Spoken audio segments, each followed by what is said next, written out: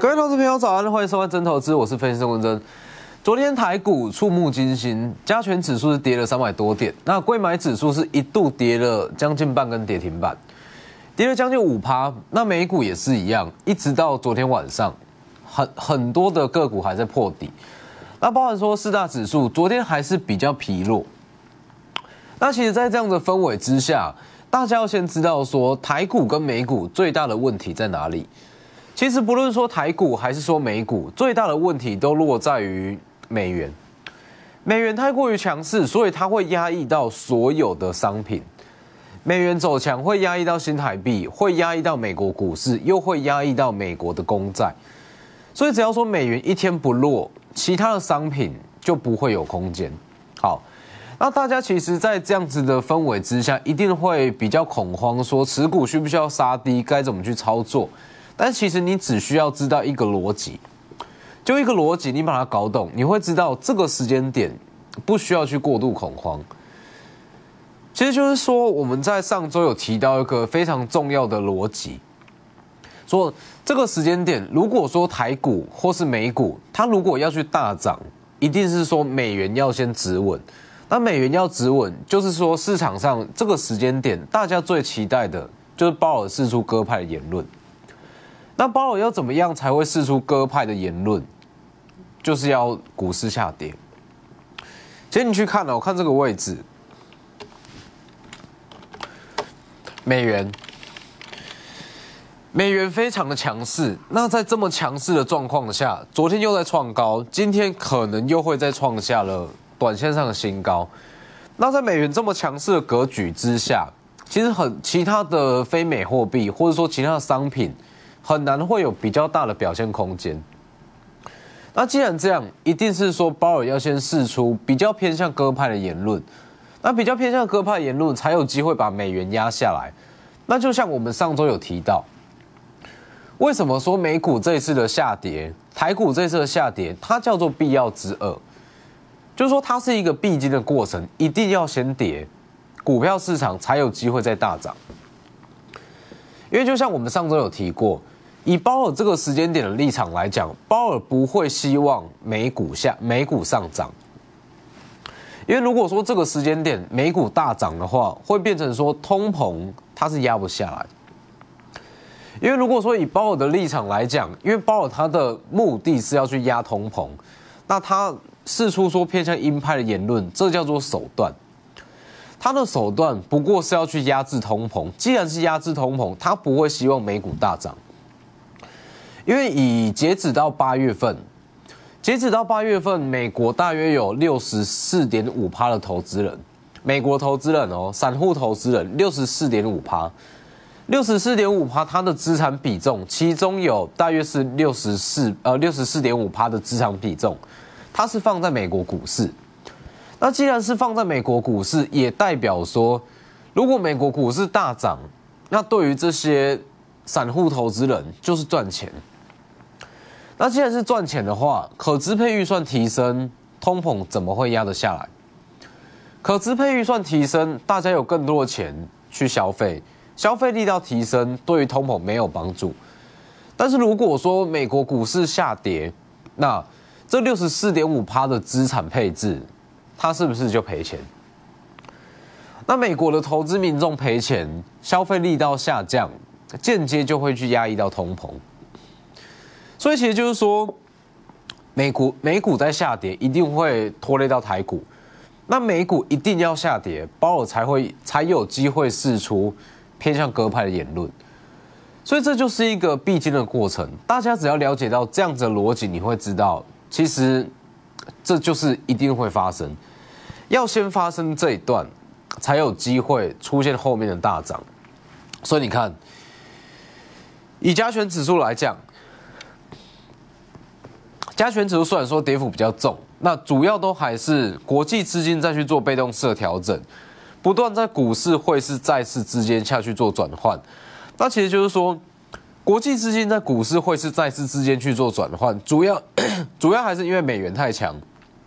那美元太强，它会压抑到其他的商品，包含像美债也是。你去看。美国公债值利率近期一直在创高这个位置。那美国公债值利率之所以会创高，就是因为美元太强势。美元太强势，所以大家因为说美元跟美债它是属于无风险的资产。那既然说美元报酬率更好，大家会去卖掉美国的公债。那抛售美国公债，美国公债的价格会往下掉，价格往下掉，美债值利率就会大涨。所以美债殖利率会大涨，也是因为美元太强。所以其实这一切的根本都在于说，美元它的货币真的太过强势。那美元太过强势，要怎么去解决？一定就是要靠鲍尔，靠联准会。但是就像我们上周有提到，为什么联准会它在利率会议过后，它的立场会这么极端的偏向鹰派？说不论说牺牲多少经济成长，我也一定要去压抑通膨。其实这有一部分是他故意营造出来的，因为说他不可能让美国的民众认为说这个时间点股票市场就是要利空出尽，利空出尽，所以开始要大涨。他不可能让美股出现这样的状况，因为如果美股它要出现利空出尽又大涨，会变成说。哦，大家又赚钱，通膨压不下来，所以一定是说美股要先跌，那跌下来之后，对于这六十四点五趴资产比重，美国的散户投资人，大家就会赔钱，那赔钱间接的可支配的预算就提下下降，那可支配的预算下降，是不是就间接压抑到通膨？所以为什么在近期我会一直强调说，不论说美股也好，台股也好。一定需要先下跌，先下跌，鲍尔才会试出偏向鸽派的言论，也才有机会去强谈。所以，其实，在这样子的状况下，国际资金它只是在去做被动式的调整，那又加上这一段是必经的过程，这一段先跌下来之后，鲍尔随时他会出现比较温和的言论，那只要说。这样子比较温和的言论出来，美国股市跟台股就是大涨。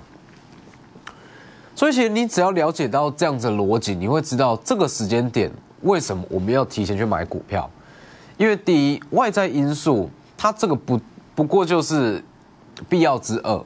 那既然是必要之二，对于个股来讲也不会有太大的影响。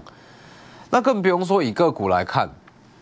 如果说以个股来看的话，就像我们在上周一直有强调，国际资金在去做被动式的转换、被动式的平衡，那这对于个股来讲，其实都是非战之罪。尤其是很多的个股，它已经提前反映过利空，这个时间点，它就是受到外在因素的连累。就说鲍尔的言论非常偏向鹰派，好，那要让它稍微的温和一点，美国股市一定要先下跌。下跌到一个程度，它才会开始比较偏温和一点的言论。那美国股市的下跌是因为美元的走强，那美元太过于强势，对于整个应该说国际资金，国际资金它会去做被动式的调整平衡。那这个平衡的过程可能会比较艰辛，但是其实对于很多的个股，它都是出现一个更巨额的利润。就说以股票来讲，本身是没有任何的问题。那股票本身没有任何的问题，好，那这个时间点又遇到外在因素的调整，外资去做被动式的调整，那这个时间不就是超额的利润？就是说个股本身没有问题，只是说外资它不得不去做资产的平衡。就像我一直强调的，股市会是债市，这三者之间，他们是用投资组合的概念。那当股市会是债市，其中一项特别强，它会把其他两项的资金转换过去。那如果说美元又特别强势，其他的非美货币全部都会被压抑到。所以你只要了解到这样的逻辑，你会知道为什么这个时间点不需要过度去担心。所以在我这两大平台里面，Light 跟 Telegram。会告诉你说整个国际市场的联动关系是怎么样，那这个时间点该去做什么样的动作？小老鼠 W E 一七八 V 一七八，如果说手上有任何的持股，那不知道该如何去处理，或是说该不该太弱留强，欢迎在盘中时间直接来电。所以在这个时间点，其实大家就是稍微的把它撑过去，就说在下跌的过程可能会比较难熬一点，但是只要撑过去，后面的这一段全部都叫做超额利润，全部都是你的。因为如果说把这样子的过程撑过去，其实只要鲍尔随便讲出一点点比较正面的消息。对美股也好，台股也好，就会有非常巨大的影响力。所以其实说这一段跌幅，你去看美元指数这样走，那如果说我们以美股来讲，纳斯达克，纳斯达克这一段其实也跌得够深了，道琼也是，昨天还在破底，那包含像是费城半导体也是，这一段。其实已经跌得够深，那这一段跌得够深，也代表说，鲍尔他的目的已经达到了。他的目的就是要让美国股市下跌，美国股市下跌，美国的散户投资人才会赔钱，赔钱就是鲍尔乐见的状况，因为赔钱就代表可支配预算下降，可支配预算下降，间接就会压抑到通膨。好，那这件事已经达到目的了。鲍尔就会开始试出比较偏向鸽派的言论，所以在这样子的时间点，其实美股跌得够深了，台股也跌得够深了，随时都可能会有比较强力的反弹。所以，其实，在这样子的时间点，很多已经在上半年提前反映过产业利空的股票，这个时间点它都叫做是被误杀。那既然是被误杀，它就会有超跌过后的超额利润。包含像是二三六八金项店，当时有讲过，在减资之前，减资之前就特别讲过，主要产品线是在伺服器加网通，都是趋势性的产业。全年保守八元，上看九元，不到八十元都是一个便宜的价位。那既然说不到八十元是便宜的价位，就代表说它的位阶是够低。减资之前位阶够低，减资后它只会变得更强。那你去看，其实这样子的周期，它的幅度是比较短，应该说它的周期比较短。但是这一根上影线，它其实也叫做超额利润。你去看哦，当天是九月十九号，盘中一度是大涨七趴以上。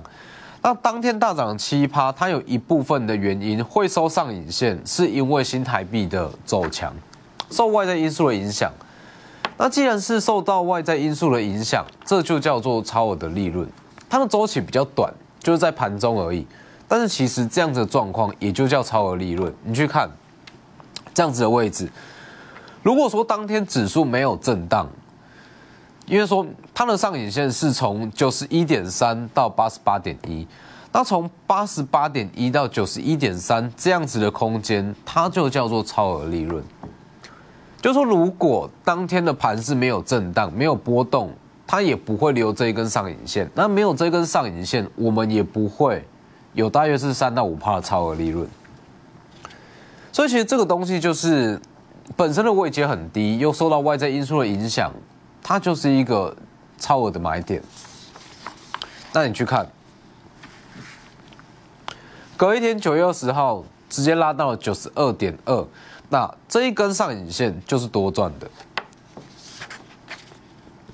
包含九月二十一也是，九月二十一留了大约是三趴左右的下影线，那这一根下影线也是，因为说盘中震荡，盘中震荡，所以出现更大量，出现部分的卖压，那这根下影线也是多赚的，最低来到了八十八点一，尾盘收到了九十三点七，是不是？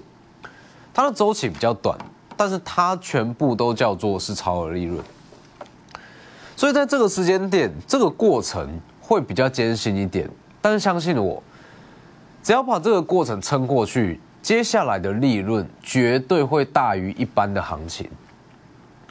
因为现在的下跌是鲍尔的手段，那鲍尔的目的只是为了要去打通膨。那当他的目的达到了，手段既然会，既然说被他当成手段的美股，自然就会补涨上来。所以反而是要把握这样子的状况，提前进场去捡钻石。那手上的个股，如果说不知道该怎么去处理，该不该去太弱留强，欢迎利用广告时间直接先来电。我们先进段广告。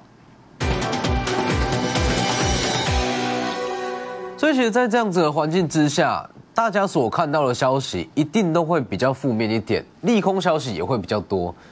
尤其是说美股在破底，台股也在破底，那你所看到的消息一定会非常偏向空方的消息，可能说会在下修个二十趴、三十趴、四十趴之类的。因为只要说股票市场下跌，最不缺的就是在更空的消息。但是大家一定要知道。这个时间点其实就是一个必经的过程，一定要经历过这一段的下跌，股票市场才有机会迎来比较强的走势。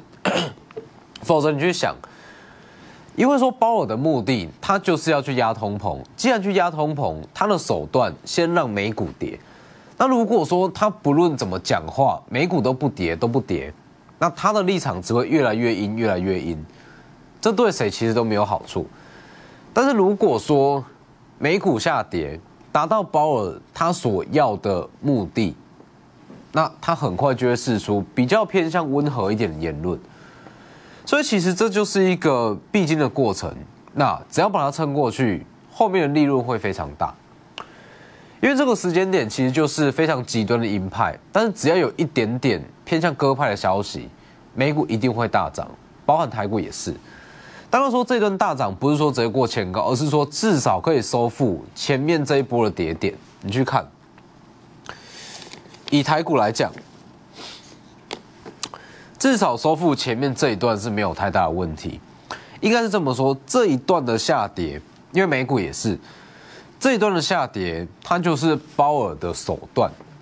鲍尔的手段就是让美股下跌，那它的目的就是要间接。达到压抑通膨的效的效果。那既然说这样子的状况达到了，他随时都会释出鸽派言论。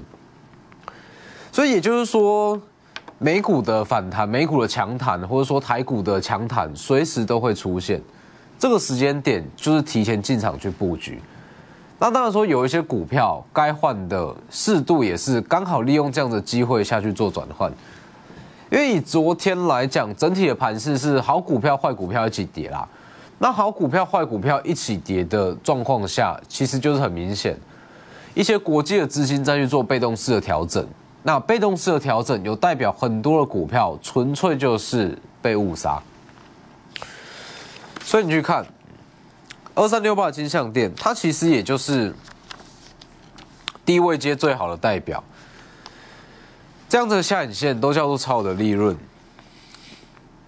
九月二十二上周四最高来到九十五元，九月二十三正式上攻到了百元一百零四，减之前八十以下买，减之后一百以下买，都是一个很便宜的价位。昨天小幅度的震荡，整体格局相对还是强势。那像这样子的低位接强势股，其实拉回来不过就是新一次的买点。那包含像是 GS 也是，九月八号当时有特别讲过，不到八十元都是很便宜的价位。九月十三开始有买盘进场，九月十三上周五大涨了接接近涨停板，最高来到八十六点六，所有的部位都是赚钱。那就像我们讲的。Apple 营收比重够高，全年保守十，上看十三，又加上有混合实境，就是说它有一个未来的梦，那也有一个数字在，数字漂亮又有梦，这样子的位阶，就算是受到大盘的影响，它也一定会补涨上去。所以其实这个时间点，很多低位接的好股票跌下来，真的是让你去捡便宜。那昨天拉回来，又是一个新的买点。跌下来，它一定会有低阶买盘，很快就会上去。所以就是说，在这样子的过程会比较难熬一点。但是大家常在说的超额的利润、巨额的利润，就是出现在这样子的行情。你说正规的行情绝对不会有所谓超额的利润，一定是说要趁着这样子比较说大型的利空、大型的跌幅，才会有够超额的利润，一定是这样。你说一个正规的行情，绝对不会有所谓的超额利润。那我就是说，这样也是好事啊。就是说，如果说鲍尔这样子的谈话，对于美股、对于台股，完全起不了任何的作用，它就是僵持不下。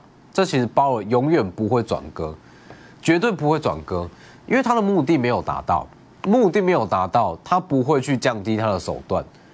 但是如果说鲍尔的言论，上周言论，他已经达到他要的目的，美股确实下跌，而且跌幅还不轻。既然已经达到他要的目的，随时都会转割，应该说随时言论都会比较保守，比较温和啦。那只要说温和的言论出来。美股一定就是大涨，但你说什么时候会出来？坦白讲，没人知道。那也是因为跌幅够重，所以随时都可能会试出这样的言论。那既然随时会出来，我们一定就是提前先卡位。四星也是三六六一的四星，三进三出，单趟都是百元的价差，最后一次千元上下出场。九月二十二，当时有讲破九百绝佳的买点，往上拉。九月二十三，一样是收一根很漂亮的下影线，这样子它就叫做是超好的利润。九月十六，昨天因为大盘不好，不受影受影响还是难免啦。那跌下来最低来到八百六十六，这也是一个全新的进场机会。包含像三零三七的星星也是。这一段跌幅比较重，但大家一定要知道，其实这类型的缓跌缓跌的股票，只要一根强弹，它就可以收复一到两周的跌幅。所以你说这样子的股票需不需要去杀低？真的是不需要。就是说现在去杀低很可惜啦，可能说它缓跌个两到三周，但是只需要花两到三天，它就可以收复掉这样子的跌幅。随便去杀低，真的就是。可能会砍在相对的谷底，除非说产业前景真的是比较有疑虑，才会需要去伺机去做转换，包含说可能说航运或是一些原物料这类型，可能就会比较危险一点。所以如果说手上有任何持股，不知道怎么处理，就欢迎尽速跟我们去做联络。所以像三零三七这样子的股票，虽然说它一直缓跌，一直缓跌，但是我的看法还是一样，这样子的位阶不需要去杀低了。同性电也是急跌下来，这个位置它也是一个超跌后的买点。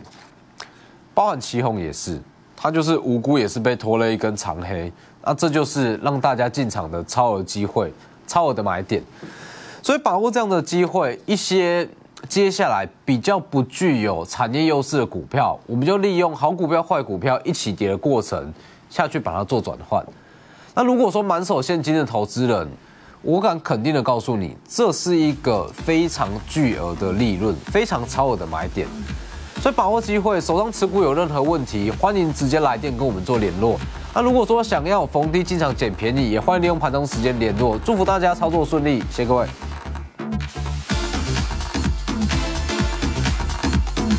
本公司与分析师所推荐分析之个别有价证券无不当之财务利益关系。本节目资料仅供参考，投资人应独立判断、审视、评估，并自负投资风险。